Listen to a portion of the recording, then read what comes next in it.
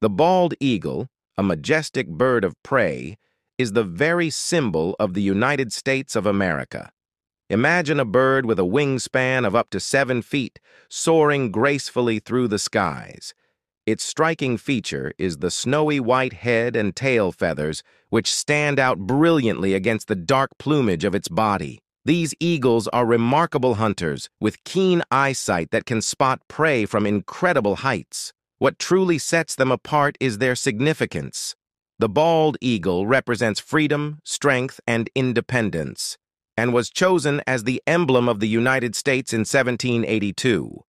It's a living symbol of the nation's ideals, making it not just a remarkable creature in nature, but a powerful icon in American history and culture.